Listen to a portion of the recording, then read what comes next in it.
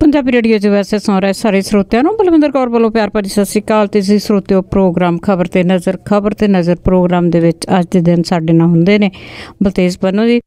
ਦੱਸਦੇ ਨੇ ਕਿ ਪੰਜਾਬ ਵਿੱਚ ਭਾਰਤ ਭਰ ਦੇ ਵਿੱਚ ਕੀ ਕੁਝ ਵਾਪਰਿਆ ਉਹਨਾਂ ਖਬਰਾਂ ਤੇ ਗੱਲਬਾਤ ਕਰਦੇ ਆ ਖਬਰਾਂ ਕਰਨ ਤੋਂ ਪਹਿਲਾਂ ਧੰਨਵਾਦ ਕਰਨਾ ਚਾਹੁੰਦੇ ਸਾਡੇ ਸਪਾਂਸਰ, ਜਿਨ੍ਹਾਂ ਨੇ ਇਸ ਪ੍ਰੋਗਰਾਮ ਨੂੰ ਸਪਾਂਸਰ ਕੀਤਾ। ਆਪ ਸਭ ਤੱਕ ਪਹੁੰਚਾਇਆ ਜੀ।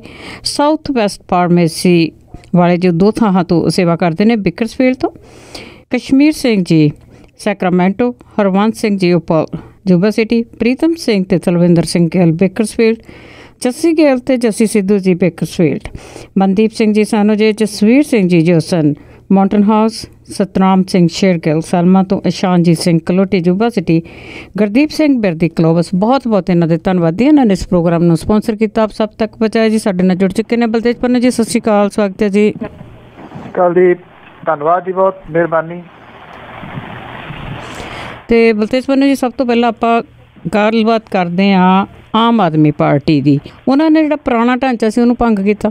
ਕਦੀ ਜਦੋਂ ਪੰਜਾਬ ਦੇ ਵਿੱਚ ਜਿਹੜੀ ਤਬਦੀਲੀ ਹੋਈ ਹੈ ਜੀ, ਜਿਹੜਾ ਪਹਿਲਾਂ ਇੱਥੋਂ ਦੇ ਕਨਵੀਨਰ ਸਨ, ਉਹਨਾਂ ਨੂੰ ਹਟਾ ਕੇ ਪ੍ਰਧਾਨ ਲਾਇਆ ਗਿਆ, ਕਿਉਂਕਿ ਕਨਵੀਨਰ ਲਫ਼ਜ਼ ਜਿਹੜਾ ਸੀਗਾ ਜੀ, ਉਹ ਖਤਮ ਕਰ ਦਿੱਤਾ ਗਿਆ। ਔਰ ਭਗਵੰਤ ਮਾਨ ਹੋਰਾਂ ਦੇ ਜਿਹੜਾ ਜੀ, ਪ੍ਰਧਾਨ ਬਣਨ ਤੋਂ ਬਾਅਦ ਇਹ ਪੰਜਾਬ ਦੀ ਲੀਡਰਸ਼ਿਪ ਦੀ ਪਹਿਲੀ ਮੀਟਿੰਗ ਸੀਗੀ, ਜਿਹਦੇ ਵਿੱਚ ਸਾਰੇ ਐਮਐਲਏਜ਼ ਤੇ ਸਾਰੇ ਜ਼ੋਨ ਦੇ ਜਿਹੜੇ ਕਨਵੀਨਰ ਸਨ ਪਹਿਲੇ ਉਹ ਹਾਜ਼ਰ ਹੋਏ। ਐਚਐਸ ਫੂਲਕਾ ਅਮਨ ਅਰੋੜਾ ਸੁਖਪਾਲ ਸਿੰਘ ਅਹ, ਪ੍ਰੋਫੈਸਰ ਸਾਧੂ ਸਿੰਘ ਹੋਰੀ ਸਾਰੇ ਇਹਦੇ ਵਿੱਚ ਜਿਹੜੇ ਉਹ ਹਾਜ਼ਰ ਸਨ ਔਰ ਜਿਹੜਾ ਐਲਾਨ ਕੀਤਾ ਗਿਆ ਬਾਅਦ ਦੇ ਵਿੱਚ ਇਹ ਆਖਿਆ ਗਿਆ ਜੀ ਕਿ ਜਿਹੜਾ ਪੁਰਾਣਾ ਢਾਂਚਾ ਸੀਗਾ ਉਹ ਸਾਰਾ ਭੰਗ ਕਰ ਦਿੱਤਾ ਗਿਆ। ਭਾਵ ਕਿ ਜਿੰਨੀਆਂ ਪੁਰਾਣੀਆਂ ਅਹੁਦੇਦਾਰੀਆਂ ਸੀ ਉਹ ਸਾਰੀਆਂ ਖਤਮ ਤੇ ਨਵੇਂ ਸਿਰੇ ਤੋਂ ਪਾਰਟੀ ਦਾ ਢਾਂਚਾ ਜਿਹੜਾ ਉਹ ਡਿਵੈਲਪ ਕੀਤਾ ਜਾਊਗਾ। ਇਹ ਕਿਹਾ ਗਿਆ ਜੀ ਕਿ ਆਪਣੇ ਆਪ ਨੂੰ ਪਾਰਟੀ ਜਿਹੜੀ ਹੈ ਜੀ ਮੁੜ ਕੇ ਲਾਮਬੰਦ ਕਰੂਗੀ ਔਰ 18 ਤਰੀਕ ਤੋਂ ਇਹਦੇ ਸੰਬੰਧੀ ਅਹ, ਜਿਹੜੀ ਮੁਹਿੰਮ ਹੈ ਉਹ ਵਿੱਢੀ ਜਾਊਗੀ। ਹਾਰ ਦਾ ਆਤਮ ਮੰਥਨ ਜਿਹੜਾ ਜੀ ਉਹ ਕੀਤਾ ਗਿਆ ਔਰ ਇਹ ਆਖਿਆ ਗਿਆ ਲੀਡਰਸ਼ਿਪ ਦੇ ਵੱਲੋਂ ਕਿ ਰੁੱਸਿਆਂ ਨੂੰ ਮਨਾਉਣ ਦੀ ਕਵਾਇਦ ਜਿਹੜੀ ਹੈ ਜੀ ਉਹ ਸ਼ੁਰੂ ਕਰਨਗੇ। ਕਿੰਨੇ ਕਿ ਇਹਦੇ ਵਿੱਚ ਸਫਲ ਹੁੰਦੇ ਨੇ, ਇਹਦੇ ਉੱਤੇ ਨਿਰਭਰ ਕਰੂਗਾ ਔਰ ਖਾਸ ਤੌਰ ਦੇ ਉੱਤੇ ਇਸ ਗੱਲ ਦੇ ਉੱਤੇ ਨਿਰਭਰ ਕਰੂਗਾ ਕਿ ਇਹ ਨਵਾਂ ਜਿਹੜਾ ਬਣਨ ਵਾਲਾ ਢਾਂਚਾ ਹੈ, ਉਹਦੀ ਰੂਪਰੇਖਾ ਕੀ ਹੁੰਦੀ ਆ? ਵਾਲੰਟੀਅਰ ਜਿਹੜੇ ਨੇ, ਉਹਨਾਂ ਦੀ ਇਹਦੇ ਵਿੱਚ ਕਿੰਨੀ ਕੁ ਵਕਤ ਜਿਹੜੀ ਆ ਪੈਂਦੀ ਆ? ਜਿਨ੍ਹਾਂ ਦੀ ਪਹਿਲਾਂ ਸ਼ਿਕਾਇਤ ਜਿਹੜੀ ਰਹੀ ਆ ਕਿ ਦਿੱਲੀ ਤੋਂ ਆਏ ਜਿਹੜੇ ਲੋਕ ਸਨ ਦੀ ਉਹੋ ਹੀ ਬਹੁਤਾ ਇਹਦੇ ਉੱਤੇ ਕੰਟਰੋਲ ਆਪਣਾ ਕਰਦੇ ਸਨ। ਜੇ ਸਮੁੱਚੀ ਵਾਗਡੋਰ ਪੰਜਾਬੀਆਂ ਦੇ ਹੱਥਾਂ ਦੇ ਵਿੱਚ ਆਉਂਦੀ ਆ ਲੀਡਰਸ਼ਿਪ ਜਿਹੜੀ ਆ, ਉਹ ਮਿਲ ਕੇ ਤੁਰਦੀ ਆ ਤਾਂ ਇਹਦਾ ਨਵਾਂ ਢਾਂਚਾ ਜਿਹੜਾ ਜੀ ਉਹਦਾ ਮੂੰਹ ਮੁਹਾਂਦਰਾ ਕੁਝ ਬਣ ਸਕਦਾ ਹੈ। ਜੇ ਇੱਕ ਦੂਜੇ ਦੇ ਵਿਰੋਧੀ ਬਿਆਨ ਦਿੰਦੇ ਰਹਿੰਦੇ ਨੇ ਤਾਂ ਫਿਰ ਹਾਲਾਤ ਸ਼ਾਇਦ ਕੁਝ ਹੋਰ ਹੋਣਗੇ। ਜੀ ਜੀ ਬਿਲਕੁਲ। ਤੇ ਅੱਗੇ ਆਪਾਂ ਗੱਲ ਕਰਦੇ ਅ, ਕਰਜ਼ਿਆਂ ਦੀ। ਮਨਪ੍ਰੀਤ ਸਿੰਘ ਬਾਦਲ ਨੇ ਖੁਲਾਸਾ ਕੀਤਾ ਕਿ ਪੰਜਾਬ ਸਿਰ ਤੋਂ ਲੈ ਕੇ ਪੈਰਾਂ ਤੱਕ ਕਰਜ਼ੇ ਤੱਕ ਡੁੱਬਿਆ ਪਿਆ। ਬਿਲਕੁਲ ਜੀ ਐਕਚੁਅਲੀ ਪੰਜਾਬ ਦਾ ਕੁੱਲ ਮਾਲੀਆ ਜਿਹੜਾ 2016-17 ਦੇ ਵਿੱਚ ਅਕਾਲੀ ਭਾਜਪਾ ਸਰਕਾਰ ਦੇ ਆਖਰੀ ਵਰ੍ਹੇ ਦੇ ਦੌਰਾਨ 4770 ਕਰੋੜ ਰੁਪਏ ਤੱਕ ਡਿੱਗ ਪਿਆ। ਪਿਛਲੇ ਕੁਝ ਸਾਲਾਂ ਦੇ ਦੌਰਾਨ ਕਰਜ਼ਾ ਚੜ ਕੇ ਜਿਹੜਾ ਜੀ 1.81 ਲੱਖ ਕਰੋੜ ਜਿਹੜਾ ਉਹ ਰੁਪਈਆ ਹੋ ਗਿਆ ਔਰ ਕਰਜ਼ਿਆਂ ਤੇ ਪੇਸ਼ਗੀਆਂ ਦੀ ਵਸੂਲੀ ਜਿਹੜੀ ਉਹ ਘਟ ਗਈ, ਕਰਜ਼ਿਆਂ ਦੀ ਪੰਡ ਵੱਧ ਗਈ। ਚੋਣ ਵਰੇ ਦੇ ਦੌਰਾਨ ਪੰਜਾਬ 'ਚ ਕਰਜ਼ਿਆਂ ਤੇ ਪੇਸ਼ਗੀਆਂ ਦੇ ਵਜੋਂ ਅਹ, ਵਸੂਲੀ ਸਿਰਫ 99.57 ਕਰੋੜ ਰੁਪਏ ਦਰਜ ਕੀਤੀ ਗਈ ਜਦੋਂ ਕਿ 15-16 ਦੇ ਵਕਫੇ ਦੇ ਵਿੱਚ ਇਹ 5728 ਕਰੋੜ ਅਹ, ਰੁਪਏ ਸੀਗੀ ਜੀ। ਔਰ ਅਹ, 7181.49 ਕਰੋੜ ਰੁਪਏ ਦੇ ਕਰਜ਼ੇ ਤੇ ਪੇਸ਼ਗੀਆਂ ਵੰਡੀਆਂ ਗਈਆਂ। ਬਜਟ ਤਜਵੀਜ਼ਾਂ 'ਚ ਸਿਰਫ 399.70 ਕਰੋੜ ਰੁਪਏ ਦਾ ਪ੍ਰਬੰਧ ਕੀਤਾ ਗਿਆ। ਸਾਲ 16-17 ਦੇ ਦੌਰਾਨ ਅਹ, ਕੇਂਦਰ ਸਰਕਾਰ ਤੋਂ ਮਿਲੀਆਂ ਗ੍ਰਾਂਟਾਂ ਦੇ ਵਿੱਚ ਜਿਹੜਾ ਸੀਗਾ ਜੀ ਉਹ 1224.63 ਕਰੋੜ ਰੁਪਏ ਦਾ ਵਾਧਾ ਹੋ ਗਿਆ। ਪੰਜਾਬ ਦਾ ਆਪਣਾ ਟੈਕਸ ਮਾਲੀਆ ਅਕਾਲੀ ਭਾਜਪਾ ਸਰਕਾਰ ਦੇ ਵੱਲੋਂ ਚੋਣਾਂ ਤੋਂ ਪਹਿਲਾਂ ਦਿੱਤੇ ਗਏ ਗੱਫਿਆਂ ਦਾ ਸਾਰਾ ਜਿਹੜਾ ਜੀ ਉਹ ਸ਼ਿਕਾਰ ਹੋ ਗਿਆ। ਜਿਹੜੇ ਅਹ, ਪੰਜਾਬ ਦੇ ਖਜ਼ਾਨਾ ਮੰਤਰੀ ਨੇ ਜੀ ਅਹ, ਮਨਪ੍ਰੀਤ ਸਿੰਘ ਬਾਦਲ ਹੁਰੀ ਉਹ ਇਹ ਕਹਿੰਦੇ ਆ ਕਿ ਉਹਨਾਂ ਦੇ ਖਦਸ਼ਿਆਂ ਦੀ ਤਸਦੀਕ ਜਿਹੜੀ ਆ ਜੀ ਹੋ ਗਈ ਆ ਕਿ ਪੰਜਾਬ ਜਿਹੜਾ ਜੀ ਉਹ ਕਰਜ਼ੇ ਦੇ ਬੋਝ ਥੱਲੇ ਨਹੀਂ ਦਬ ਗਿਆ ਬਲਕਿ ਗਲ-ਗਲ ਤੱਕ ਜਿਹੜਾ ਜੀ ਉਹ ਡੁੱਬ ਗਿਆ। ਹੁਣ ਸਵਾਲ ਇਹ ਆ ਕਿ ਇਹਨੂੰ ਕੱਢਣ ਦੇ ਵਾਸਤੇ ਕਿਹੜੀਆਂ ਤਰਕੀਬਾਂ ਅਹ, ਜਿਹੜੀਆਂ ਉਹ ਲਾਈਆਂ ਜਾਣ? ਜਦੋਂ ਮਾਲੀਆ ਇੰਨਾ ਘਟ ਜਾਵੇ ਖਰਚੇ ਵੱਧ ਜਾਣ ਤਾਂ ਫਿਰ ਇੱਕੋ ਤਰੀਕਾ ਹੁੰਦਾ ਹੈ ਕਿ ਮਾਲੀਆ ਵਧਾਇਆ ਜਾਵੇ ਖਰਚੇ ਜਿਹੜੇ ਨੇ ਉਹ ਘਟਾਏ ਜਾਣ। ਖਰਚੇ ਘਟਾਉਣ ਦੇ ਵਾਸਤੇ ਗੱਲਾਂ ਤਾਂ ਬਹੁਤ ਜਿਹੜੀਆਂ ਦੀ ਉਹ ਕੀਤੀਆਂ ਗਈਆਂ ਸੀ, ਪਰ ਜਿਵੇਂ ਖਬਰਾਂ ਆ ਰਹੀਆਂ ਨੇ, ਜਿਹੜਾ ਹੈਲੀਕਾਪਟਰ ਸੀਗਾ, ਉਹ ਖਜ਼ਾਨਾ ਮੰਤਰੀ ਹੋਰਾਂ ਨੇ ਵੀ ਵਰਤਿਆ, ਉਹਨਾਂ ਦੇ ਸਾਥੀਆਂ ਨੇ ਵੀ ਵਰਤਿਆ। ਹੁਣ ਖਬਰਾਂ ਇਹ ਵੀ ਆ ਰਹੀਆਂ ਨੇ ਕਿ ਮਲੇਰ ਕੋਟਲਾ ਤੋਂ ਜਿਹੜੇ ਐਮਐਲਏ ਨੇ, ਉਹਨਾਂ ਨੇ ਇੱਕ ਦਿਨ ਆਪਣੇ ਪੁੱਤ ਨੂੰ ਤੇ ਆਪਣੇ ਨਾਲ ਦੇ ਸਾਥੀਆਂ ਨੂੰ ਜਿਹੜਾ ਜੀ ਉਹ ਬਿਠਾਇਆ ਤੇ ਅੰਮ੍ਰਿਤਸਰ ਗਏ, ਫੋਟੋਆਂ ਸੋਸ਼ਲ ਮੀਡੀਆ ਤੇ ਵੀ ਪਾਤੀਆਂ ਕਿ ਮੁੱਖ ਮੰਤਰੀ ਸਾਹਿਬ ਨੇ ਇੱਕ ਦਿਨ ਦੀ ਐਮਰਜੈਂਸੀ ਮੀਟਿੰਗ ਦੇ ਵਾਸਤੇ ਅੰਮ੍ਰਿਤਸਰ ਤਰਨਤਾਰਨ ਦੇ ਦੌਰੇ ਦੇ ਵਾਸਤੇ ਭੇਜਿਆ। ਉੱਥੇ ਕਿਹੜੀ ਐਮਰਜੈਂਸੀ ਮੀਟਿੰਗ ਸੀ ਜਿਹਦੇ ਵਾਸਤੇ ਹੈਲੀਕਾਪਟਰ ਵਰਤਣਾ ਪੈ ਗਿਆ। ਇਹਦਾ ਕੋਈ ਜਿਹੜਾ ਦੀ ਉਹ ਜਵਾਬ ਹੈ ਨਹੀਂਗਾ ਆਪ ਹੀ ਸੋਸ਼ਲ ਮੀਡੀਆ ਦੇ ਉੱਤੇ ਜਿਹੜੀਆਂ ਸੀ ਉਹ ਫੋਟੋਆਂ ਵਾਇਰਲ ਕਰਕੇ ਆਪ ਹੀ ਸਵਾਲਾਂ ਦੇ ਘੇਰੇ ਦੇ ਵਿੱਚ ਜਿਹੜਾ ਦੀ ਉਹ ਆ ਗਏ। ਜੇ ਸਰਕਾਰ ਦੇ ਵੱਲੋਂ ਖਰਚੇ ਜਿਹੜੇ ਆ ਜੀ, ਉਹ ਨਹੀਂ ਘਟਾਏ ਜਾਂਦੇ, ਚੀਫ ਪਾਰਲੀਮਾਨੀ ਸੈਕਟਰੀ ਜਿਹੜੇ ਨੇ, ਉਹਨਾਂ ਦੀ ਫੌਜ ਨਹੀਂ ਭਰਤੀ ਕੀਤੀ ਜਾਂਦੀ, ਤਾਂ ਨਿਰਸੰਦੇ ਆਉਣ ਵਾਲੇ ਦਿਨਾਂ ਦੇ ਦੌਰਾਨ ਕੁਝ ਨਾ ਕੁਝ ਖਜ਼ਾਨਾ ਜਿਹੜਾ ਦੀ ਉਹ ਸਿੱਧਾ ਹੋ ਸਕਦਾ ਹੈ। ਜੇਕਰ ਇਹੀ ਹਾਲਾਤ ਜਿਹੜੇ ਆ ਜੀ, ਉਹ ਰਹੇ, ਮਾਲੀਆ ਘਟੀ ਗਿਆ, ਖਰਚੇ ਜਿਹੜੇ ਆ, ਉਹ ਵਧੀ ਗਏ, ਤੇ ਫਿਰ ਹੱਲ ਕੀ ਹੋਊਗਾ ਪੰਜਾਬ ਦਾ? ਪੰਜਾਬ ਬਰਬਾਦੀ ਦੇ ਕੰਢੇ ਜਿਹੜਾ ਦੀ ਉਹ ਖੜ ਗਿਆ ਜਾ ਕੇ। ਪੰਜਾਬ ਦੀ ਬੈਂਕਰਪਸੀ ਵਾਲੇ ਜਿਹੜੇ ਸਾਈਨ ਨੇ, ਉਹ ਸਪਸ਼ਟ ਦਿਸਣ ਲੱਗੇ ਨੇ ਔਰ ਖਾਸ ਤੌਰ ਦੇ ਉੱਤੇ ਜੋ ਕੁਝ ਅਖੀਰਲੇ ਵਰੇ ਦੇ ਵਿੱਚ ਅਕਾਲੀ ਭਾਜਪਾ ਵਾਲਿਆਂ ਨੇ ਜਿਹੜਾ ਦੀ ਉਹ ਕੀਤਾ ਉਹਦਾ ਜਵਾਬ ਦੇਣ ਦੇ ਵਾਸਤੇ ਹੁਣ ਸਨ ਐਂਡ ਡੈਡ ਸਾਹਮਣੇ ਨਹੀਂ ਆ ਰਹੇ। ਤਕਰੀਬਨ ਉਹਨਾਂ ਦੇ ਜਿਹੜੇ ਨਾਲ ਦੇ ਨੇ ਛੋਟੇ ਉਹੀ ਜਵਾਬ ਦਿੰਦੇ ਨੇ।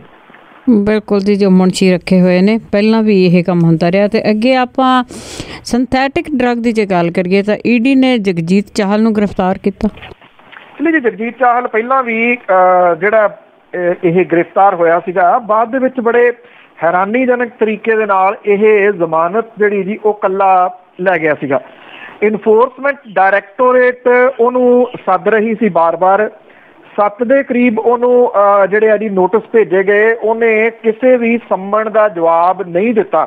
ਫਿਰ ਇਨਫੋਰਸਮੈਂਟ ਡਾਇਰੈਕਟੋਰੇਟ ਦੀ ਟੀਮ ਜਿਹੜੀ ਸੀ, ਨਰਿੰਜਨ ਸਿੰਘ ਹੋਰਾਂ ਦੀ ਅਗਵਾਈ ਦੇ ਵਿੱਚ ਕੱਲ ਉਹਨਾਂ ਨੇ ਇੱਥੇ ਮੋਹਾਲੀ ਦੇ ਵਿੱਚ ਜਿਹੜਾ ਇਹ ਕਹਿ ਲਓ ਕਿ ਸਰਜੀਕਲ ਸਟ੍ਰਾਈਕ ਦੇ ਨਾਲ ਤਕਰੀਬਨ ਫੜਿਆ ਜੀ। ਇਹ ਉਡੀਕ ਰਹੇ ਸੀ ਇਹਨਾਂ ਨੂੰ, ਇਹ ਪਤਾ ਸੀਗਾ ਕਿ ਜਗਜੀਤ ਸਿੰਘ ਚਾਲ ਬਨੂੜ ਦੇ ਵਿੱਚ ਦਰਜ ਹੋਏ ਇੱਕ ਕੇਸ ਦੇ ਸਬੰਧ ਦੇ ਵਿੱਚ ਮੋਹਾਲੀ ਆ ਰਿਹਾ ਉਹ ਉਡੀਕਦੇ ਰਹੇ, ਜਦੋਂ ਉਹ ਬਾਹਰ ਆਇਆ ਤਾਂ ਉਹਨੂੰ ਜਲੰਧਰ ਤੋਂ ਆਈ ਈਡੀ ਦੀ ਟੀਮ ਨੇ ਗ੍ਰਿਫਤਾਰ ਕਰ ਲਿਆ ਬਹੁਤ ਚਰਚਿਤ ਸਿੰਥੈਟਿਕ ਡਰੱਗ ਵਾਲੇ ਮਾਮਲੇ ਦੇ ਵਿੱਚ।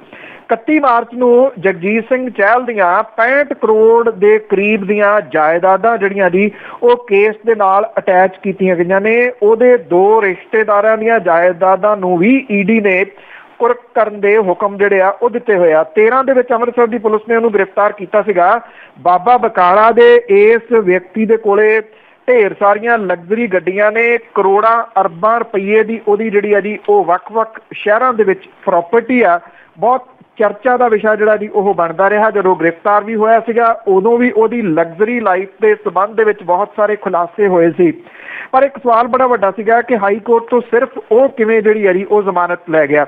ਈਡੀ ਦੇ ਕੋਲੇ ਹੁਣ ਜਿਹੜਾ ਜੀ, ਗ੍ਰਿਫਤਾਰ ਹੋਣ ਤੋਂ ਬਾਅਦ ਜਿਹੜਾ ਦੀ ਇਹ ਕੀ ਇਸ ਕੇਸ ਦੇ ਵਿੱਚੋਂ ਨਿਕਲ ਸਕੂਗਾ ਜਿਹੜੀ ਕਰੋੜਾਂ ਰੁਪਏ ਦੀ ਜਾਇਦਾਦ ਉਹਦੇ ਬਣਾਈ ਬੇਨਾਮੀ ਜਿਹੜੀ ਹੈ ਦੀ ਉਹ ਦੱਸੀ ਜਾਂਦੀ ਆ, ਜਿਹੜੀ ਕਿ ਬਹੁਤੀਆਂ ਉਹਦੀਆਂ ਸਿੰਥੈਟਿਕ ਡਰੱਗ ਦੀਆਂ ਜਿਹੜੀਆਂ ਫੈਕਟਰੀਆਂ ਸੀਗੀਆਂ ਇੱਥੇ ਹਿਮਾਚਲ ਪ੍ਰਦੇਸ਼ ਦੇ ਵਿੱਚ, ਉਹਨਾਂ ਤੋਂ ਬਣਾਈ ਦੱਸੀ ਜਾਂਦੀ ਹੈ ਬਿਲਕੁਲ ਜੀ, ਪੈਸਾ ਲੈ ਦੇ ਕੇ ਇਦਾਂ ਹੀ ਬਚ ਜਾਂਦਾ ਜਿਸ ਤਰ੍ਹਾਂ ਸਲਵਿੰਦਰ ਸਿੰਘ ਨੂੰ ਕੁਝ ਨਹੀਂ ਹੋਇਆ, ਉਧਰ ਪੰਗੂ ਨੂੰ ਕੁਝ ਨਹੀਂ ਹੋਇਆ।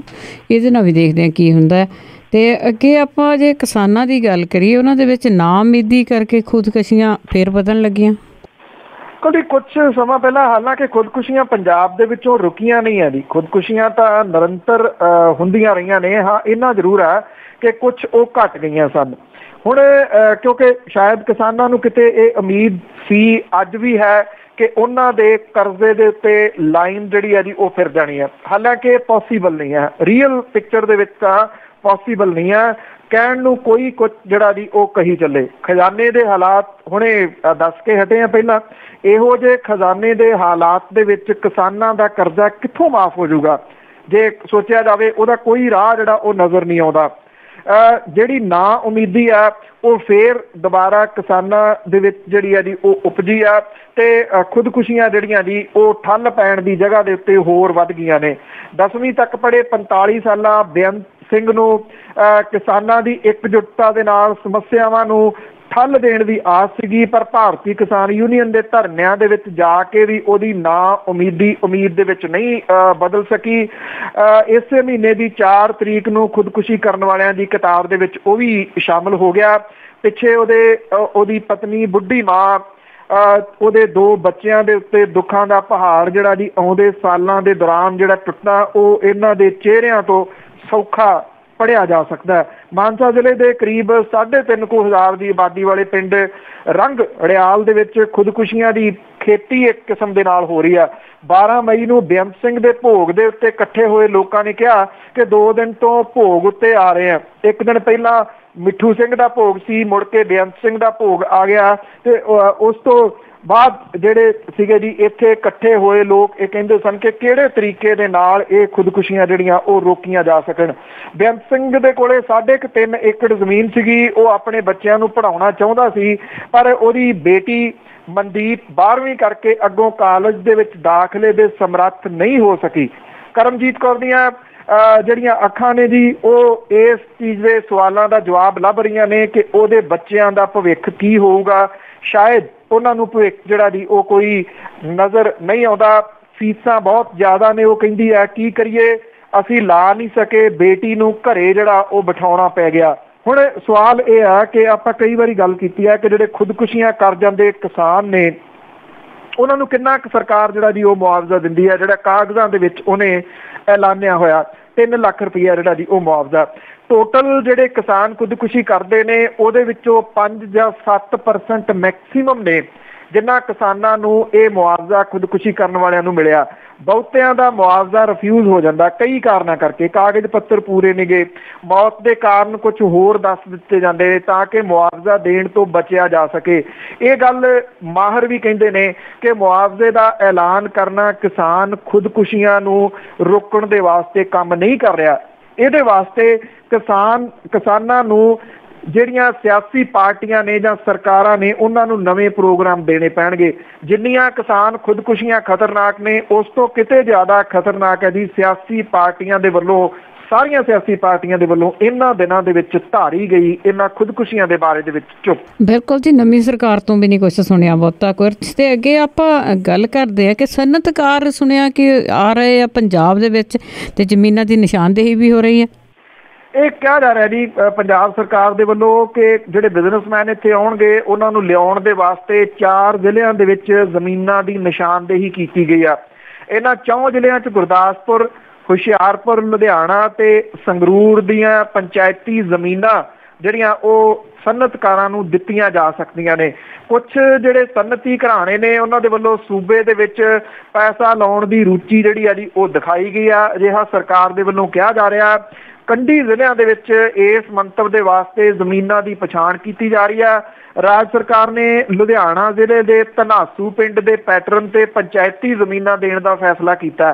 ਧਨਾਸੂ ਪਿੰਡ ਨੂੰ ਸਾਈਕਲ ਵੈਲੀ ਲਈ ਜ਼ਮੀਨ ਦੇਣ ਦੇ ਬਦਲੇ 95 ਕਰੋੜ ਰੁਪਏ ਮਿਲੇ ਸੀਗੇ ਤੇ ਪੰਚਾਇਤ ਨੇ ਇਸ ਪੈਸੇ ਨੂੰ ਖਰਚਣ ਲਈ ਪੂਰੀ ਯੋਜਨਾ ਬਣਾ ਰੱਖੀ ਹੈ, ਪਰ ਪਿੰਡੂ ਪਿੰਡੂ ਵਿਕਾਸ ਤੇ ਪੰਚਾਇਤ ਵਿਭਾਗ ਦੇ ਕੋਲੇ ਇਹਦੇ ਨਿਵੇਸ਼ ਦੇ ਵਾਸਤੇ ਕੋਈ ਨੀਤੀ ਜਿਹੜੀ ਆ, ਉਹ ਹੈ ਨਹੀਂਗੀ ਹੁਣ ਜ਼ਮੀਨਾਂ ਦੀ ਨਿਸ਼ਾਨਦੇਹੀ ਜਿਹੜੀ ਆ ਜੀ, ਸਰਕਾਰ ਨੇ ਕਰ ਲਈ ਆ ਔਰ ਇਹ ਕਿਹਾ ਜਾ ਰਿਹਾ ਜੀ ਕਿ ਇਹਨੂੰ ਲੈ ਕੇ ਇਹਨਾਂ ਜ਼ਿਲ੍ਹਿਆਂ ਦੇ ਵਿੱਚ ਕਈ ਕਿਸਮ ਦੀ ਹਿੱਲ ਜੁਲ ਜਿਹੜੀ ਆ, ਉਹ ਹੋ ਰਹੀ ਆ।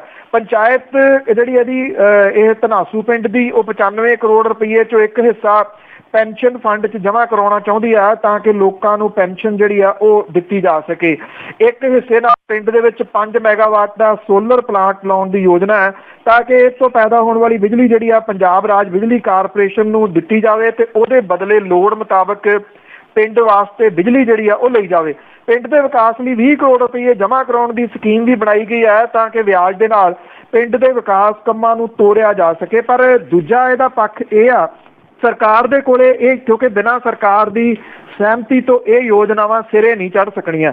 ਪਿੰਡ ਦੇ ਲੋਕਾਂ ਨੇ ਤਾਂ ਇਹ ਯੋਜਨਾ ਜਿਹੜੀ ਬਣਾ ਲਈ, ਜਿਹੜੀਆਂ ਕਿ ਸਾਰੀਆਂ ਜਿੰਨੀਆਂ ਉਹਨਾਂ ਨੇ ਯੋਜਨਾਵਾਂ ਬਣਾਈਆਂ ਨੇ ਨਿਰਸੰਦੇ ਦੂਰ ਅੰਦੇਸ਼ੀ ਵਾਲੀਆਂ ਨੇ। ਕਈ ਸਾਲਾਂ ਤੱਕ ਪਿੰਡ ਜਿਹੜਾ ਜੀ, ਉਹ ਵੱਖਰੇ ਰੂਪ ਦੇ ਵਿੱਚ ਉੱਭਰ ਸਕਦਾ ਹੈ। ਪਰ ਅਫਸਰਸ਼ਾਹੀ ਬਾਬੂਸ਼ਾਹੀ ਕੀ ਇਹਨਾਂ ਪਿੰਡ ਦੇ ਲੋਕਾਂ ਨੂੰ ਇਹ ਜਿਹੜੀਆਂ ਇਹਨਾਂ ਨੇ ਸਕੀਮਾਂ ਬਣਾਈਆਂ ਨੇ ਪੈਸੇ ਦੇ ਵਾਸਤੇ ਉਹ ਪੂਰੀਆਂ ਕਰਨ ਦੇ ਵਾਸਤੇ ਸਹਿਯੋਗ ਦੇਊਗੀ? ਇਹ ਆਪਣੇ ਆਪ 'ਚ ਬਹੁਤ ਵੱਡਾ ਸਵਾਲ ਹੈ ਜੀ।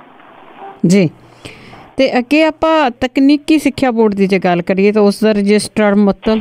ਐਕਚੁਅਲੀ ਜੀ ਜਿਹੜੇ ਆਈਏਐਸ ਆਫੀਸਰ ਲਾਏ ਗਏ ਨੇ ਜੀ ਤਕਨੀਕੀ ਸਿੱਖਿਆ ਆਫੀਸਰ ਦੇ ਚਰਚਿਤ ਆਈਏਐਸ ਆਫੀਸਰ ਕਾਨ ਸਿੰਘ ਪੰਨੂ ਪੰਨੂਹਰੀ ਉਹਨਾਂ ਨੇ ਇਸ ਮਾਮਲੇ ਦੀ ਜਾਂਚ ਤੋਂ ਬਾਅਦ ਇਹ ਗੱਲ ਜਿਹੜੀ ਸਰਕਾਰ ਤੱਕ ਪਹੁੰਚਾਈ ਸੀਗੀ ਕਿ ਜਿਹੜੇ ਉਦਯੋਗਿਕ ਸਿਖਲਾਈ ਬੋਰਡ ਦੇ ਰਜਿਸਟਰਾਰ ਨੇ ਨਵਨੀਤ ਵਾਲੀਆ ਅ, ਉਹਨੇ ਬਹੁਤ ਸਾਰੀਆਂ ਬੇਨਿਯਮੀਆਂ ਇਹਦੇ ਵਿੱਚ ਜਿਹੜੀਆਂ ਉਹ ਕੀਤੀਆਂ ਨੇ।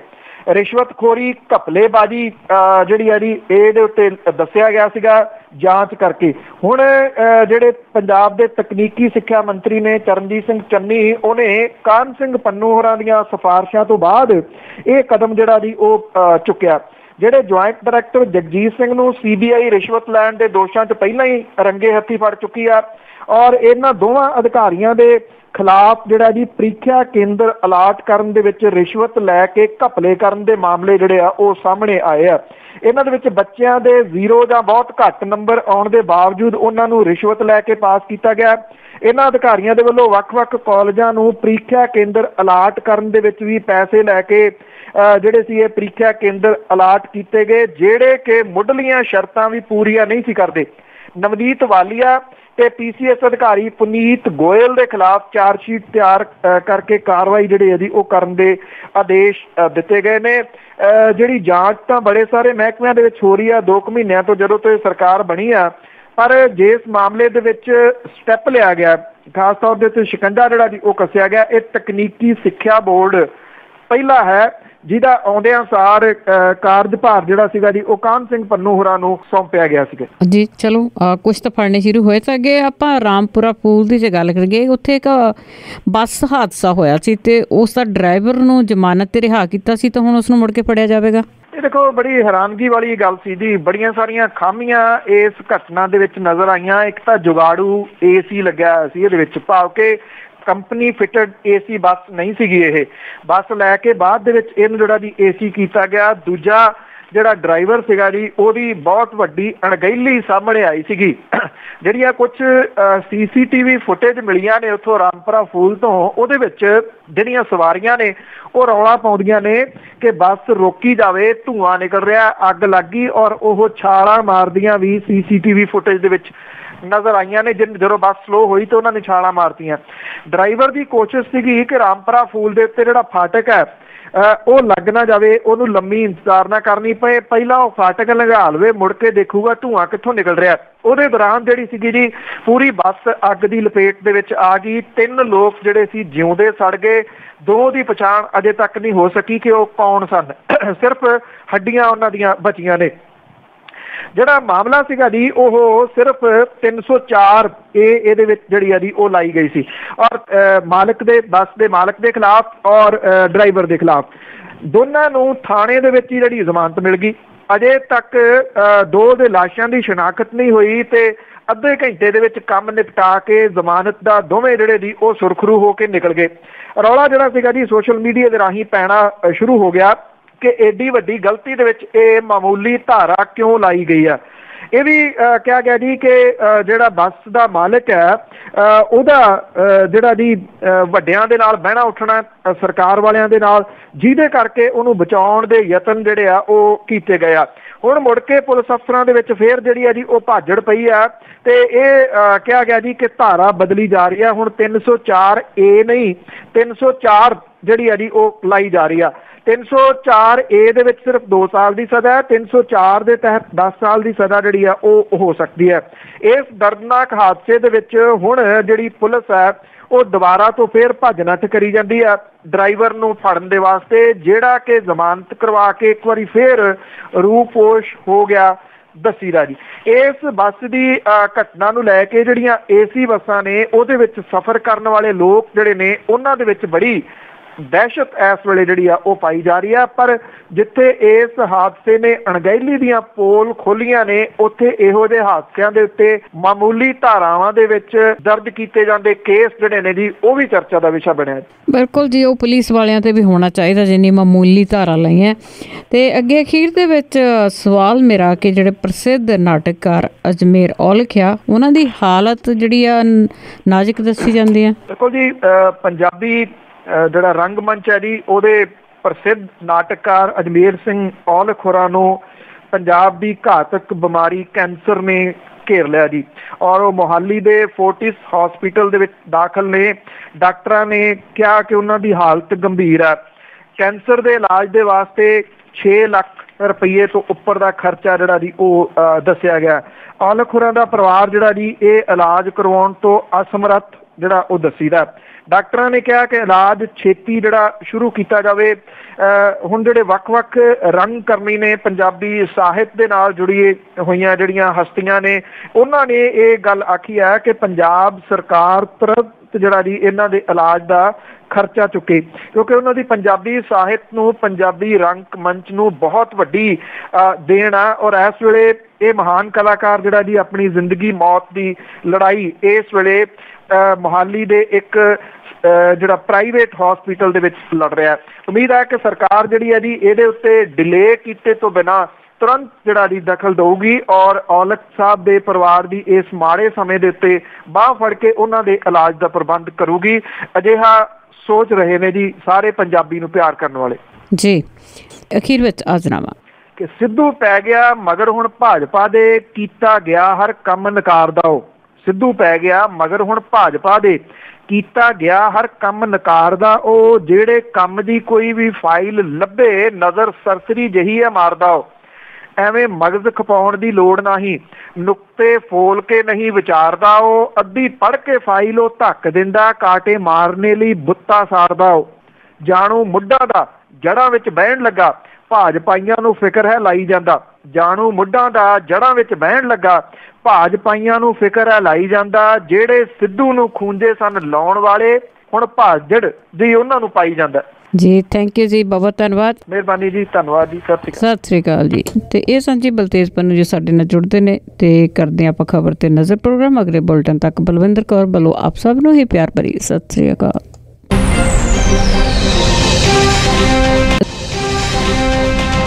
ਪੰਜਾਬੀ ਰੇਡੀਓ ਦੀ ਵਾਸਤੇ ਸੁਣ ਰਹੇ ਸਾਰੇ ਸਰੋਤਿਆਂ ਦਾ ਇੱਕ ਵਾਰ ਫਿਰ ਸਵਾਗਤ ਕਰਦੇ ਹਾਂ। ਤੁਸੀਂ ਜੁੜੇ ਹੋਏ ਹੋ ਪੰਜਾਬੀ ਰੇਡੀਓ ਦੀ ਵਾਸਤੇ। ਨਾਲ ਤੇ ਪ੍ਰੋਗਰਾਮ ਹੈ ਜੀ ਖਬਰ ਤੇ ਨਜ਼ਰ।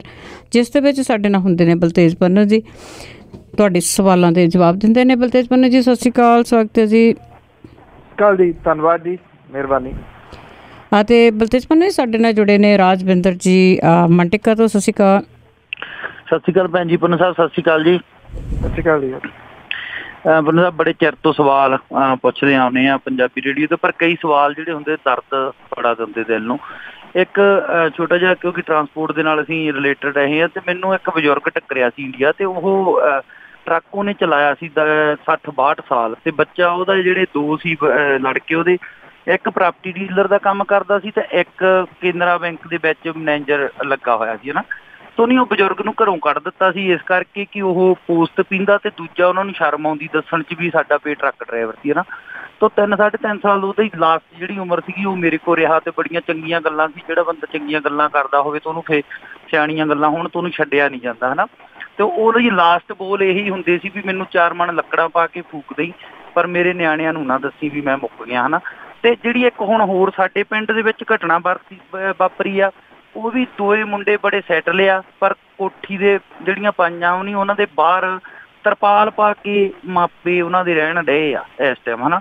ਤੇ ਉਹਦੀ ਮਾਤਾ ਸਾਡੀ ਇੰਡੀਆ ਗਈ ਸੀ, ਉਹ ਦੱਸਦੇ ਵੀ ਉਹ ਜਿਹੜੀ ਔਰਤ ਸੀ, ਉਹ ਮੁੱਕ ਗਈ, ਹਨਾ? ਤੇ ਛੋਟੇ ਹੁੰਦੇ ਤੋਂ ਸੁਣਦੇ ਉਹਨੇ ਵੀ ਬੜੇ ਮੁਸ਼ਕਲ ਉਹਨੀ ਨਿਆਣੇ ਪਾਲੇ ਸੀ, ਹਨਾ? ਜ਼ਮੀਨ ਜਾਇਦਾਦ ਵੀ ਹੈ ਨਹੀਂ ਤੇ ਦੁੱਧ ਦੁੱਧ ਵੇਚ ਕੇ ਪਸ਼ੂ ਚਾਰ ਕੇ ਉਹਨੀ ਉਹ ਜਵਾਕ ਪਾਲੇ ਸੀ। ਪਰ ਜਿੱਦਣ ਮਦਰਸ ਡੇ ਲੰਘ ਕੇ ਗਿਆ, ਤਾਂ ਮਦਰਸ ਡੇ ਵਾਲੇ ਦਿਨ ਉਹਨਾਂ ਦੀ ਪੋਸਟ ਇੱਕ ਮੈਂ ਦੇਖੀ, ਉਹਨਾਂ ਦੇ ਪਰਿਵਾਰ ਚੋਂ ਹੀ।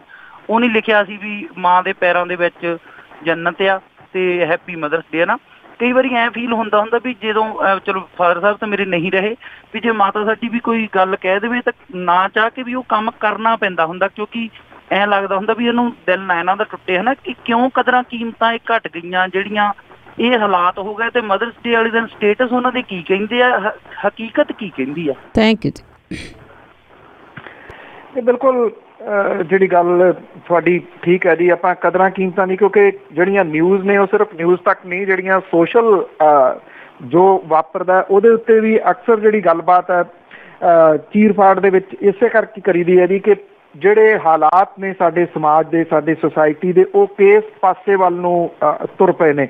ਜਦੋਂ ਇਹ ਕਿਹਾ ਜਾਣ ਲੱਗੇ ਕਿ ਜਿਹੜੇ ਹਰ ਸ਼ਹਿਰ ਦੇ ਵਿੱਚ ਬਿਰਧ ਆਸ਼ਰਮ ਜਿਹੜਾ ਉਹ ਚਾਹੀਦਾ ਤਾਂ ਇੱਕ ਬਹੁਤ ਵੱਡਾ ਸਵਾਲੀਆ ਚਿੰਨ੍ਹ ਹੈ ਜੀ। ਸਾਡੇ ਉਹਨਾਂ ਲੋਕਾਂ ਦੇ ਉੱਤੇ ਜਿਹੜੇ ਕਹਿੰਦੇ ਆ ਸਾਡਾ ਕਲਚਰ ਬਹੁਤ ਅਮੀਰ ਹੈ। ਇਹ ਕਿਹੋ ਜਿਹਾ ਅਮੀਰ ਕਲਚਰ ਹੈ ਜਿਹੜਾ ਇਹ ਭਾਲਣ ਲੱਗ ਗਿਆ ਕਿ ਹਰ ਸ਼ਹਿਰ ਦੇ ਵਿੱਚ ਬਿਰਧ ਆਸ਼ਰਮ ਹੋਣ ਤਾਂ ਕਿ ਬਜ਼ੁਰਗਾਂ ਨੂੰ ਉੱਥੇ ਜਿਹੜਾ ਜੀ ਉਹ ਸੁੱਟਿਆ ਜਾ ਸਕੇ, ਉਹਨਾਂ ਦੀ ਅਖੀਰਲੀ ਉਮਰ ਦੇ ਵਿੱਚ। ਹਰ ਜਿਹੜਾ ਬਜ਼ੁਰਗ ਹੈ ਉਹ ਆਪਣੇ ਬੱਚੇ ਨੂੰ ਵੱਡਿਆ ਹੁੰਦਾ ਦੇਖਦਾ ਹੈ, ਇਸ ਪੁਆਇੰਟ ਆਫ View ਦੇ ਨਾਲ ਕਿ ਇਹ ਮੇਰਾ, ਮੇਰੀ ਡੰਗੋਰੀ ਜਿਹੜੀ ਹੈ ਨਾ ਜੀ ਉਹ ਬਣੂਗਾ। ਬਜ਼ੁਰਗਾਂ ਦੀ ਡੰਗੋਰੀ ਜਿਹੜੀ ਹੈ ਉਹ ਬਿਰਧ ਆਸ਼ਰਮ ਜਦੋਂ ਬਣ ਲੱਗ ਗਏ ਨੇ, ਤੇ ਫਿਰ ਦੇਖੋ ਸਵਾਲ ਤਾਂ ਜਿਹੜੇ ਉਹ ਖੜੇ ਹੋ ਗਏ, ਪਰ ਜਿਹੜਾ ਤੁਸੀਂ ਦੂਸਰਾ ਨਾਲ ਇਹਦੇ ਸਵਾਲ ਉਠਾਇਆ ਜੀ, ਉਹ ਮੈਂ ਸਮਝਦਾ ਕਿ ਉਹ ਜ਼ਿਆਦਾ ਮਹੱਤਵਪੂਰਨ ਹੈ ਕਿ ਕਰ ਕੀ ਰਹੇ ਨੇ ਲੋਕ ਤੇ ਉਹਨਾਂ ਦੇ ਚਿਹਰੇ ਜਿਹੜੇ ਨੇ, ਉਹ ਕੁਝ ਕਹਿੰਦੇ ਨੇ, ਅੰਦਰ ਜਿਹੜਾ ਜੀ ਉਹਨਾਂ ਦੇ ਕੁਝ ਚੱਲਦਾ ਸੁਰਜੀਤ ਪਾਤਰ ਹੋਰਾਂ ਦਾ ਇੱਕ ਸ਼ੇਰ ਹੈ, ਜਿਹੜਾ ਇਹਦੇ ਉੱਤੇ ਬਹੁਤ ਢੁਕਦਾ ਕਿ ਉਸ ਦੀਆਂ ਗੱਲਾਂ ਸੁਣੋ, ਕੀ ਰੰਗ ਕੀ ਕੀ ਰੌਸ਼ਨੀ, ਹਾਏ ਪਰ ਕਿਰਦਾਰ ਤੇ اخلاق ਵਿਚਲਾ ਫਾਸਲਾ ਇਹ ਜਿਹੜਾ ਫਾਸਲਾ ਹੈ ਨਾ ਕਿਰਦਾਰ ਤੇ اخلاق ਦਾ ਜਿਹੜਾ ਫਾਸਲਾ ਉਹ ਬਹੁਤ ਵੱਡਾ ਜਿਹੜਾ ਜੀ ਹੋ ਗਿਆ ਇਹ ਪਾੜਾ ਇਦਾਂ ਦਾ ਪੈ ਗਿਆ ਇਉਂ ਮੈਂ ਕਈ ਵਾਰੀ ਉਹ ਮਿਸਾਲ ਵੀ ਦਿੰਦਾ ਹੁੰਦਾ ਕਿ ਸਾਡੇ ਅਹ, ਦਾਦੇ ਦਾਦੀਆਂ ਜਿਹੜੀਆਂ ਕਹਾਣੀਆਂ ਉਹਨਾਂ ਤੋਂ ਛੋਟੇ ਹੁੰਦਿਆਂ ਸੁਣਦੇ ਹੁੰਦੇ ਸੀ ਬੜੀਆਂ ਅਹ, ਵਧੀਆ। ਉਹ ਕਈ ਵਾਰੀ ਝੂਠੀਆਂ ਲੱਗਣ ਲੱਗ ਜਾਂਦੀਆਂ ਨੇ। ਮੌਜੂਦਾ ਸੁਸਾਇਟੀ ਦਾ ਚਿਹਰਾ ਮੋਹਰਾ ਦੇਖ ਕੇ ਕਿ ਕਿਤੇ ਉਹ ਗਲਤ ਤਾਂ ਨਹੀਂ ਸਾਨੂੰ ਸਿਖਾਉਂਦੇ ਰਹੇ ਕਿ ਉਦੋਂ ਵੀ ਸੁਸਾਇਟੀ ਇਦਾਂ ਹੀ ਹੁੰਦੀ ਸੀਗੀ। ਪਰ ਇਹੋ ਜਿਹੇ ਨਿਗਾਰ ਦੇ ਵੱਲ ਪਹਿਲਾਂ ਜਾਂਦੀ ਨਹੀਂ ਸੀ ਦੇਖੀ। ਮੈਂ ਇੱਕ ਸਟੋਰੀ ਕਵਰ ਕੀਤੀ ਸੀ ਕੁਝ ਸਮਾਂ ਪਹਿਲਾਂ। ਉਹ ਬਜ਼ੁਰਗ ਅਹ, ਜਿਹੜੇ ਦੋ ਜਣੇ ਉਹ ਇੱਕ ਪਿੰਡ ਦੇ ਸ਼ਮਸ਼ਾਨ ਦੇ ਵਿੱਚ ਰਹਿੰਦੇ ਨੇ ਜੀ ਕੱਢੇ ਹੋਏ ਉਹ ਵੀ ਇਸੇ ਤਰੀਕੇ ਨਾਲ ਬੱਚੇ ਆਉਂਦੇ ਨੇ। ਬਿਲਕੁਲ ਜੀ ਬਹੁਤ ਜ਼ਿਆਦਾ ਸਟੋਰੀਆਂ ਇਸ ਤਰ੍ਹਾਂ ਦੀਆਂ। 4082725200 ਸਟੂਡੀਓ ਦਾ ਫੋਨ ਨੰਬਰ ਹੈ ਸਾਡੇ ਨਾਲ ਜੁੜੇ ਨੇ ਸੁਰਿੰਦਰ ਸਿੰਘ ਸ਼ੇਰਗਿੱਲ ਜੀ। ਸਤਿ ਸ਼੍ਰੀ ਅਕਾਲ ਭੈਣ ਜੀ। ਸਤਿ ਸ਼੍ਰੀ ਅਕਾਲ।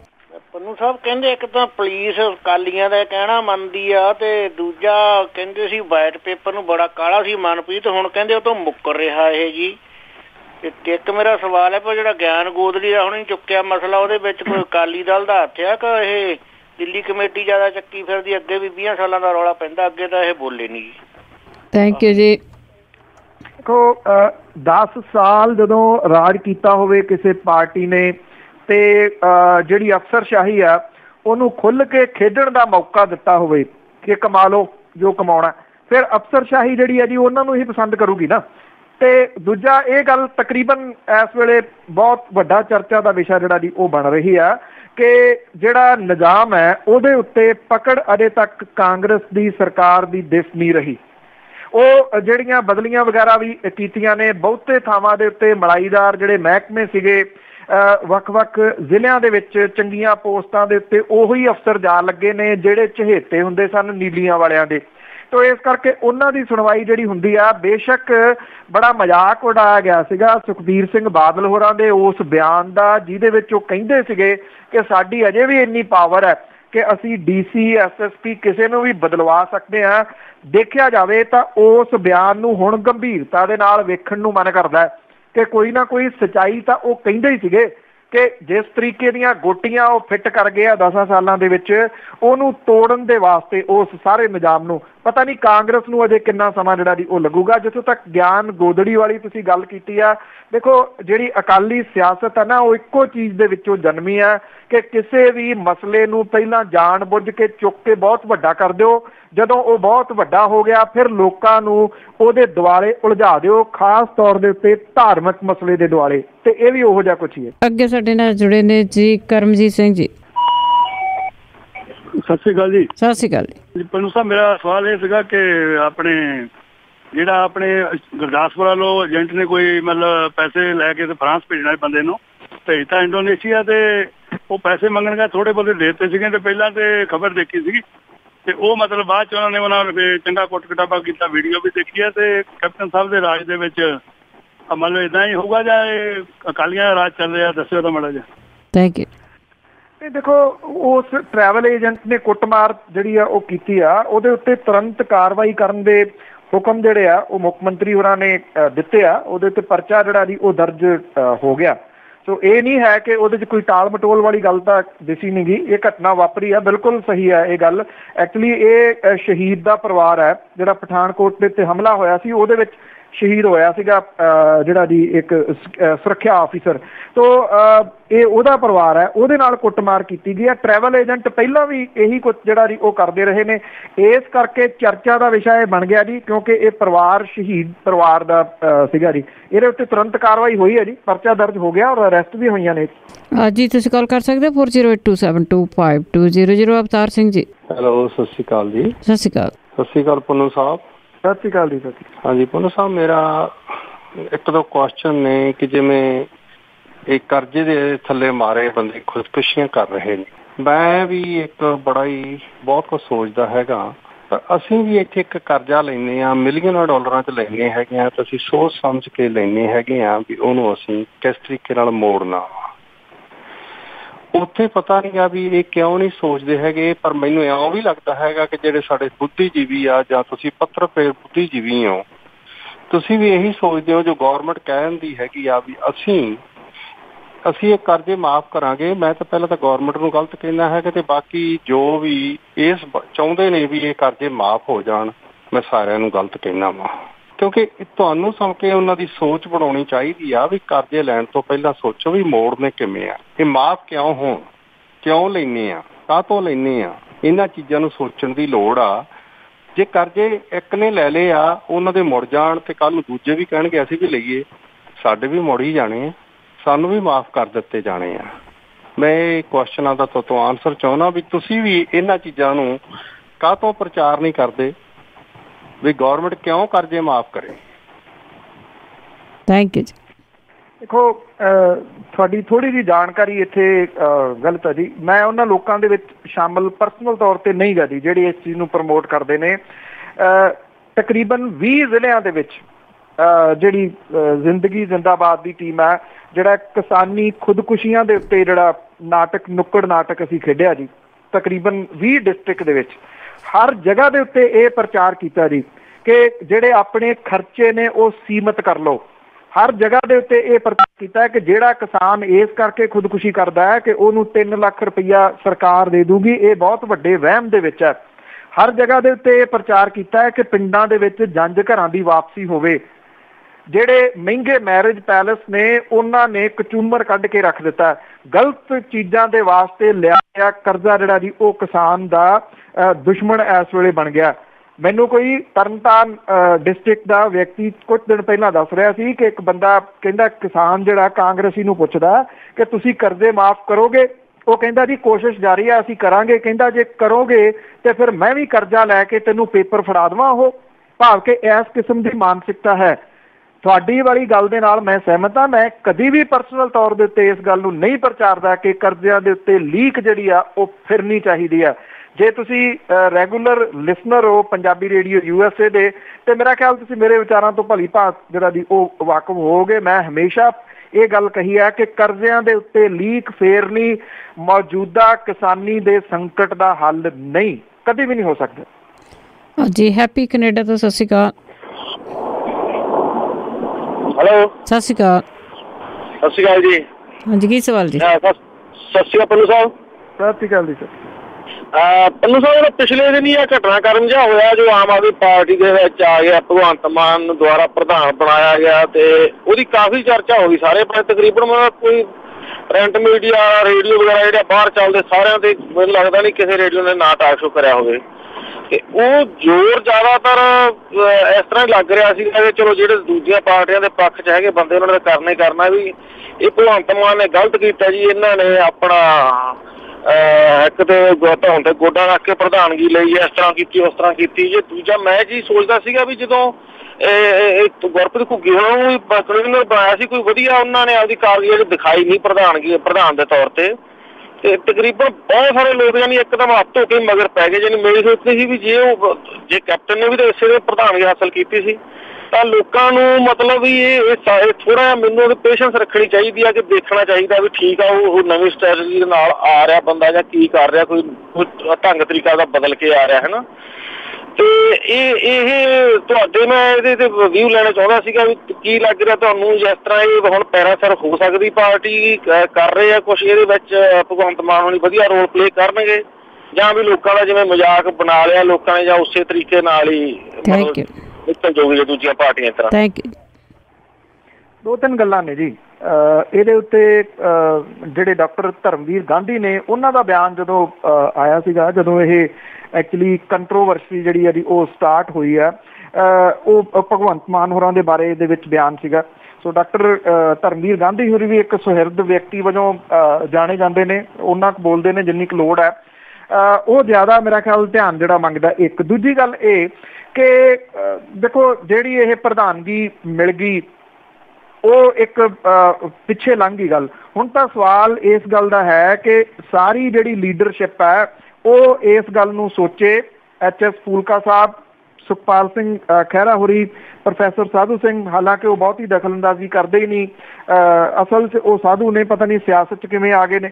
ਤੋਂ ਇਦਾਂ ਦੇ ਜਿਹੜੇ ਲੋਕ ਨੇ ਜੇ ਤਾਂ ਸਾਰੇ ਇਹ ਜਿਵੇਂ ਕੱਲ ਸਿਰ ਜੋੜ ਕੇ ਬੈਠੇ ਨੇ ਬਹਿ ਜਾਂਦੇ ਨੇ ਢਾਂਚਾ ਬਣਾ ਲੈਂਦੇ ਨੇ।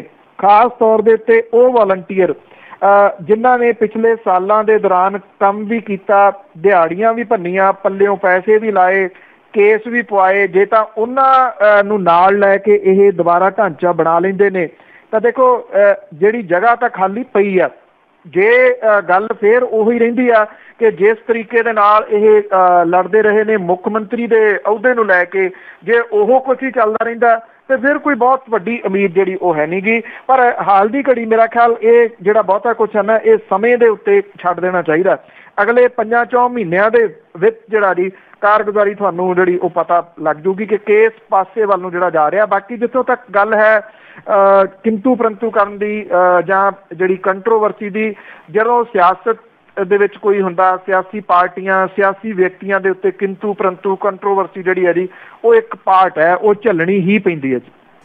ਸਰਬਜੀਤ ਸੋਲ ਜੀ ਕੈਨੇਡਾ ਤੋਂ ਸਤਿ ਸ਼੍ਰੀ ਅਕਾਲ। ਹੈਲੋ ਹਾਂਜੀ ਪੰਨੂ ਭਾਈ ਸਤਿ ਸ਼੍ਰੀ ਅਕਾਲ ਤੇ ਸਾਰਿਆਂ ਨੂੰ ਸਤਿ ਸ਼੍ਰੀ ਅਕਾਲ।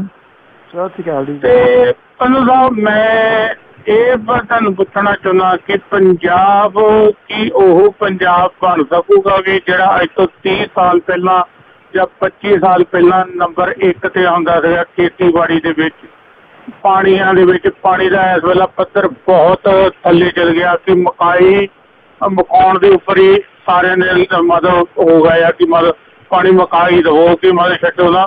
ਤੇ ਕਿ ਇਹ ਪੰਜਾਬ ਉਹ ਨੰਬਰ 1 ਤੇ ਆਊਗਾ ਕਦੀ ਕਿ ਸਿਰਫ ਇਹ ਹੁਣ ਸਾਬਾਂ ਦੇ ਵਿੱਚ ਹੀ ਅਸੀਂ ਪੰਜਾਬ ਨੂੰ ਇਸ ਨੰਬਰ 1 ਤੇ ਦੇਖਣਾ, ਅਹ ਮਦਦ ਦੇਖੀਏ। ਇਹਦੇ ਬਾਰੇ ਦੱਸਿਓ ਤੇ ਜਿਹੜੇ ਹੁਣ ਡਰੱਗ ਮਾਫੀ ਆ ਇੰਨਾ ਵੱਧ ਗਿਆ ਸੀਗਾ ਉਹਨਾਂ ਤੇ ਕੀ ਲਗਾਮ ਇਹ ਲਗਾ ਰਹੇ ਆ? ਤੇ ਜੇ ਕਹੀਏ ਤਾਂ ਬਹੁਤ ਕੁਝ ਹੈਗਾ ਪੰਜਾਬ ਦੇ ਵਿੱਚ ਤੇ ਕੀ ਥੈਂਕ ਯੂ ਜੀ ਥੈਂਕ ਦੇਖੋ ਬਹੁਤ ਵੱਡਾ ਇਹ ਸਵਾਲ ਹੈ ਬਹੁਤ ਵੱਡਾ। ਰਿਐਲਿਟੀ ਹੋਰ ਹੈ। ਉਂਝ ਅਹ, ਜਿਹੜਾ ਜੀ ਮੈਂ ਜੇ ਤਰਵਾਸ ਦੇਣ ਦੇ ਵਾਸਤੇ ਕਹੀ ਚੱਲਾਂ ਤੇ ਉਹ ਗੱਲ ਜਿਹੜੀ ਹੈ ਜੀ, ਉਹ ਹੋਰ ਹੋਊਗੀ। ਰਿਐਲਿਟੀ ਇਹ ਹੈ ਪੰਜਾਬ ਪਛੜ ਗਿਆ। ਪੰਜਾਬ ਹਰ ਪਾਸੇ ਤੋਂ ਜਿਹੜਾ ਜੀ, ਉਹ ਪਛੜ ਗਿਆ। ਪੰਜਾਬ ਤੇਜ਼ੀ ਦੇ ਨਾਲ ਕੱਲ ਇੱਕ ਰਿਪੋਰਟ ਸੀਗੀ ਕਿ ਅਨਪੜਤਾ ਵੱਲ ਨੂੰ ਵੱਧ ਰਿਹਾ ਹੈ ਬਹੁਤ ਤੇਜ਼ੀ ਦੇ ਨਾਲ। ਪੰਜਾਬ ਨੂੰ ਬਿਮਾਰੀਆਂ ਨੇ ਬੁਰੇ ਤਰੀਕੇ ਦੇ ਨਾਲ ਆਪਣੀ ਲਪੇਟ ਦੇ ਵਿੱਚ ਲੈ ਲਿਆ।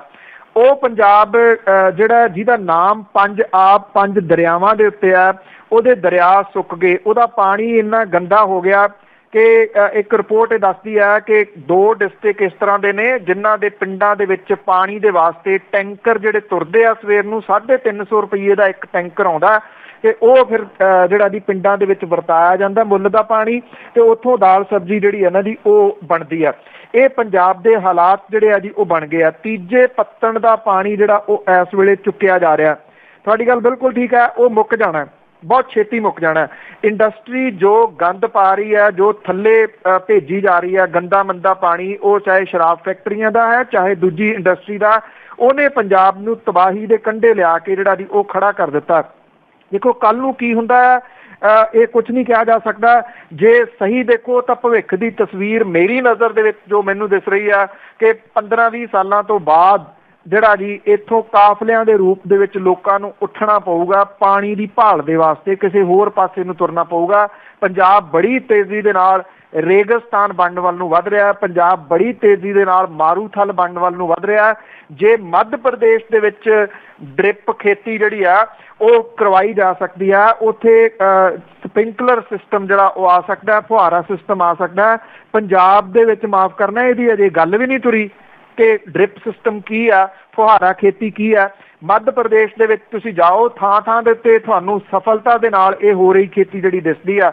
ਪਾਣੀ ਤਾਂ ਉਹ, ਉਹਨਾਂ ਦਾ ਵੀ ਦੂਰ ਹੈ ਪਾਣੀ ਸਾਡਾ ਦੂਰ ਜਿਹੜਾ ਦੀ ਉਹ ਜਾ ਰਿਹਾ। ਇੱਥੇ ਕੋਈ ਚਰਚਾ ਹੀ ਜਿਹੜਾ ਉਹ ਨਹੀਂ ਹੋ ਰਿਹਾ। ਕੋਈ ਫਿਕਰਮੰਦ ਨਹੀਂ ਜਾਪਦਾ। ਵੱਡੀ ਪਾਈਪ ਲੈ ਕੇ ਸੜਕਾਂ ਛੱਡੋ ਤੁਸੀਂ ਆਮ ਲੋਕ। ਕਿਹੜਾ ਇਹਦੇ ਉੱਤੇ ਕੋਈ ਗੌਰ ਕਰਦੇ ਨੇ? ਲੈ ਕੇ ਸੜਕਾਂ ਵੀ ਮੂਰਲੀਆਂ ਜਿਹੜੀਆਂ ਨੌਕਰ ਲਾਏ, ਉਹ ਵੀ ਧੋ ਦਿਓ। ਤੇ ਗੱਡੀਆਂ ਜਿਹੜੀਆਂ ਦੀ ਉਹ ਡੇਲੀ ਵੱਡੀ ਪਾਈਪ ਦੇ ਨਾਲ ਜਿਹੜੀਆਂ ਧੋਣੀਆਂ ਨੇ। ਤਬਾਹੀ ਕੀਤੀ ਜਾ ਰਹੀ ਆ ਇਸ ਕੁਦਰਤ ਦੀ ਅਣਮੁੱਲੀ ਦੇਣ ਦੀ ਪਾਣੀ ਦੀ। ਜੇ ਪਾਣੀ ਨਾ ਰਿਹਾ ਤੇ ਕਾਹਦਾ ਪੰਜ ਆਪ ਜਿਹੜਾ ਦੀ ਉਹ ਰਹਿਣਾ? ਆਪ ਤਾਂ ਜਿਹੜੇ ਉਹ ਹੈ ਨਹੀਂ। ਜੇ ਮੇਰੀ ਨਜ਼ਰ ਦੇ ਵਿੱਚ ਦੇਖਦੇ ਹੋ ਤੇ ਪੰਜਾਬ ਬੜੀ ਤੇਜ਼ੀ ਦੇ ਨਾਲ ਰੇਗਿਸਤਾਨ ਵੱਲ ਨੂੰ ਵੱਧ ਰਿਹਾ ਜੀ ਔਰ ਇੱਥੇ ਵੱਡੀਆਂ ਵੱਡੀਆਂ ਕੋਠੀਆਂ ਕਾਰਾਂ ਫੁਕਰੇ ਟਾਈਮ ਦੇ ਲੋਕ ਜਿਹੜੇ ਨਹੀਂ ਫੁਕਰੇ ਟਾਈਪ ਦੇ ਉਹ ਰਹਿ ਜਾਣਗੇ। ਮੋਹਨ ਲਾਲ ਜੀ। ਸਤਿ ਸ਼੍ਰੀ ਅਕਾਲ ਜੀ ਸਤਿ ਸ਼੍ਰੀ ਅਕਾਲ। ਜੀ। ਸਤਿ ਸ਼੍ਰੀ ਅਕਾਲ ਜੀ। ਹਾਂਜੀ ਮੈਂ ਨਾ ਇੱਕ ਪਿੱਛੇ ਜਿਹਾ ਖਬਰ ਸੁਣੀ ਆਪਣਾ ਦੋ ਫੌਜੀ ਸ਼ਹੀਦ ਹੋਏ ਆ। ਤੇ ਉਹ ਇੱਕ ਫੌਜੀ ਸ਼ਹੀਦ ਦੀ ਖਬਰ ਆ ਰਹੀ ਵੀ ਉਹਨਾਂ ਫੈਮਿਲੀ ਨੂੰ ਮਿਲ ਰਿਹਾ ਕੁਝ ਬੱਚਿਆਂ ਨੂੰ ਮਿਲ ਰਿਹਾ। ਜਿਹੜੇ ਦੂਸਰੇ ਫੌਜੀ ਸਾਹਿਬ ਨੇ, ਉਹਨਾਂ ਨੂੰ ਕੁਝ ਸੁਣਿਆ ਨਹੀਂ ਮੈਂ ਵੀ ਕੀ, ਕੋਈ ਨਾ ਸਹੂਲਤ ਮਿਲੀ ਕਿ ਨਹੀਂ ਮਿਲੀ। ਥੈਂਕ ਯੂ ਜੀ। ਜੇ ਤੁਸੀਂ ਗੱਲ ਕਰ ਰਹੇ ਹੋ, ਜਿਹੜੇ ਵਹੀਂ ਪੁਈ ਵਾਲਾ ਤਰਨਤਾਰਨ ਦੇ ਬਿਲਕੁਲ ਹੈ ਜੀ, ਦੋਨਾਂ ਦੇ ਵਾਸਤੇ ਸੇਮ ਅਨਾਉਂਸਮੈਂਟ ਜਿਹੜੀ ਹੈ ਦੀ ਉਹ ਹੋਈ ਆ ਕਿਉਂਕਿ ਐਕਚੁਅਲੀ ਇਹ ਹੈ ਨੇ ਜੀ ਸੈਂਟਰ ਦੇ ਅੰਡਰ ਸੈਂਟਰ ਨੇ ਇਹ ਸਹੂਲਤਾਂ ਜਿਹੜੀਆਂ ਦੀ ਉਹ ਦੇਣੀਆਂ ਨੇ ਰਾਜ ਸਰਕਾਰਾਂ ਜਿਹੜੀਆਂ ਦੀ ਆਪਣੇ ਤੌਰ ਤੇ ਦਿੰਦੀਆਂ ਨੇ ਜਿੰਨਾ ਕੁ ਬਣਦਾ ਉਹਨਾਂ ਦਾ ਹਿੱਸਾ ਤੇ ਉਹ ਕੈਪਟਨ ਅਮਰਿੰਦਰ ਸਿੰਘ ਹੁਰੀ ਦੇ ਕੇ ਵੀ ਅਹ, ਜਿਹੜਾ ਦੀ ਉਹ ਆਏ ਨੇ। ਹਾਲਾਂਕਿ ਇਹਦੇ ਉੱਤੇ ਮੰਗ ਕੀਤੀ ਜਾ ਰਹੀ ਸੀ ਕਿ ਉਹਨੂੰ ਅਹ, ਜਿਹੜਾ ਦੀ ਜ਼ਿਆਦਾ ਦਿੱਤਾ ਜਾਵੇ ਪੰਜਾਬ ਸਰਕਾਰ ਪਰ ਸੈਂਟਰ ਦੀ ਸਰਕਾਰ ਅਹ, ਜੋ ਕੁਝ ਜਿਹੜਾ ਦਿੰਦੀ ਹੈ ਜੀ ਉਹ ਉਹਦੇ ਵਾਸਤੇ ਵੀ ਅਨਾਉਂਸਮੈਂਟ ਹੋਈ ਆ। ਜਦੋਂ ਮਿਲਦਾ ਆ ਉਹਦੇ ਵਾਸਤੇ ਸਮਾਂ ਲੱਗ ਸਕਦਾ ਪਰ ਅਨਾਉਂਸਮੈਂਟ ਦੋਨਾਂ ਦੇ ਵਾਸਤੇ ਇੱਕੋ ਜਿਹੀ ਹੋਈ ਹੈ। ਜੀ ਤੇ ਸਾਡੇ ਨਾਲ ਅੱਗੇ ਜੁੜੇ ਨੇ ਸੁਰਿੰਦਰ ਸਿੰਘ ਜੀ। ਹਾਂਜੀ ਸਤਿ ਸ੍ਰੀ ਅਕਾਲ ਸਾਰਿਆਂ ਨੂੰ ਸੁਣਨ ਵਾਲਿਆਂ ਨੂੰ ਵੀ ਪੰਨੂ ਸਾਹਿਬ ਨੂੰ ਵੀ ਤੁਹਾਨੂੰ ਵੀ। ਜੀ। ਤੇ ਮੇਰਾ ਤੇ ਫੋਨ ਬੰਦ ਹੋਣ ਨੂੰ ਫਿਰਦਾ ਮੈਂ ਕਦੇ ਰੱਖਣਾ। ਤੇ ਪਹਿਲਾਂ ਤਾਂ ਮੈਂ ਜੀ ਪਾਣੀ ਦੀ ਗੱਲ ਛੋਟੀ ਜੀ ਕਰਨ ਲੱਗਾ ਜਿਹੜਾ ਪੰਜਾਬ ਦਾ ਪਾਣੀ ਮੁੱਕੀ ਜਾ ਰਿਹਾ ਨਾ ਉਹਦੇ ਵਿੱਚ ਅਸੀਂ ਬਾਹਰਲੇ ਲੋਕ ਜਿਹੜੇ ਆ 80% ਯੋਗਦਾਨ ਪਾਉਣੇ ਆ ਮਕਾਉਣ ਨੂੰ। ਅਸੀਂ ਲੋਕ ਇੱਥੇ ਆ ਕੇ ਬਹੁਤ ਧਨਾੜ ਬਣੇ ਹੋ ਆ ਤੇ ਉੱਥੇ ਜਾ ਜਾ ਕੇ ਅਸੀਂ ਮਹਿੰਗੀਆਂ ਤੋਂ ਮਹਿੰਗੀਆਂ ਜ਼ਮੀਨਾਂ ਹਾਲੇ ਤੇ ਚਾੜਦੇ ਆ। ਜਿਹੜੀ ਖੁਦਕਸ਼ੀਆਂ ਵੀ ਹੁੰਦੀਆਂ ਇਸੇ ਕਰਕੇ ਹੁੰਦੀਆਂ ਸਾਡਾ ਵੀ ਕਸੂਰ ਆ ਤੇ ਉੱਥੇ ਵਾਲੇ ਲੋਕਾਂ ਦਾ ਵੀ ਆ। ਹੁਣ ਦੇਖੋ ਮੈਂ ਅੱਗੇ ਵੀ ਗੱਲ ਕੀਤੀ ਸੀਗੀ ਪਾਣੀ ਲਈ ਅਸੀਂ ਬਾਹਰਲੇ ਲੋਕ ਬਹੁਤ ਕੁਝ ਕਰ ਸਕਦੇ ਆ।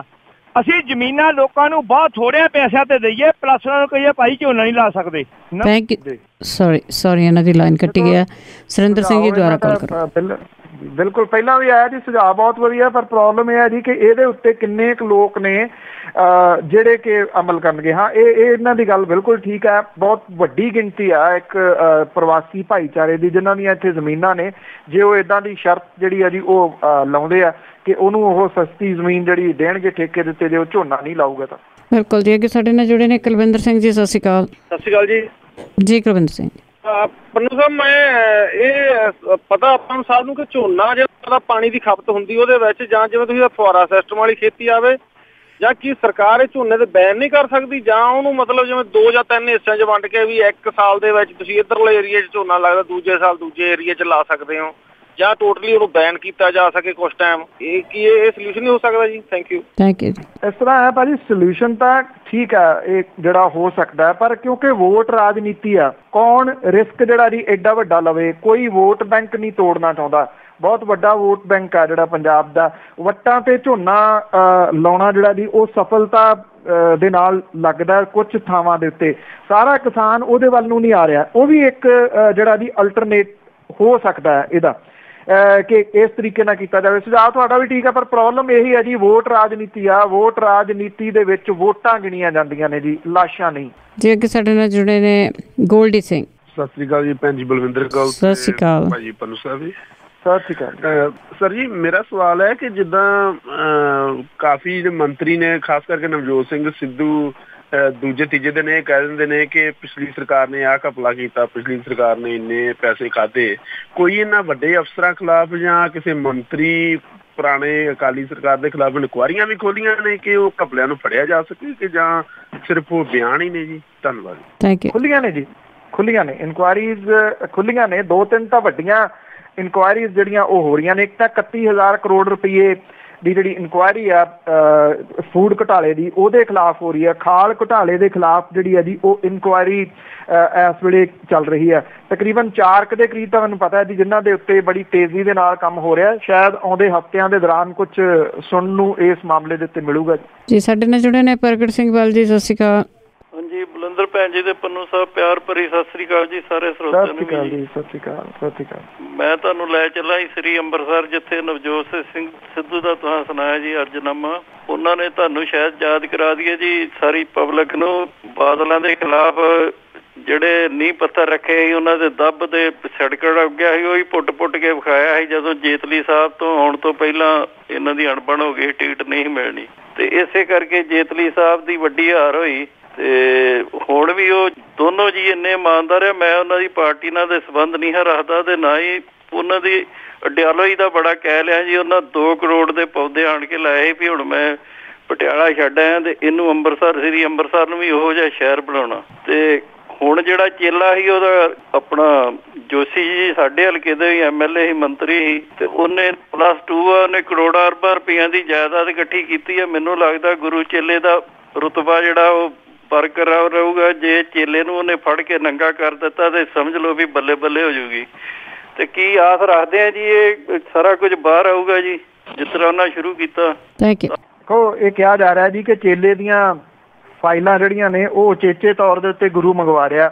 ਤੇ ਉਹਨਾਂ ਦੀ ਘੋਖ ਵੀ ਜਿਹੜੀ ਹੈ ਜੀ ਵਾਵਾ ਨੇੜੇ ਤੋਂ ਕੀਤੀ ਜਾ ਰਹੀ ਹੈ ਉਮੀਦ ਕੀਤੀ ਜਾਣੀ ਚਾਹੀਦੀ ਹੈ ਕਿ ਗੁਰੂ ਗੁਰੂ ਹੀ ਰਹੂਗਾ ਤੇ ਚੇਲੇ ਨੂੰ ਵਾਣੀ ਪਾਊਗਾ। ਉਮੀਦ ਕੀਤੀ ਜਾਣੀ ਚਾਹੀਦੀ ਹੈ।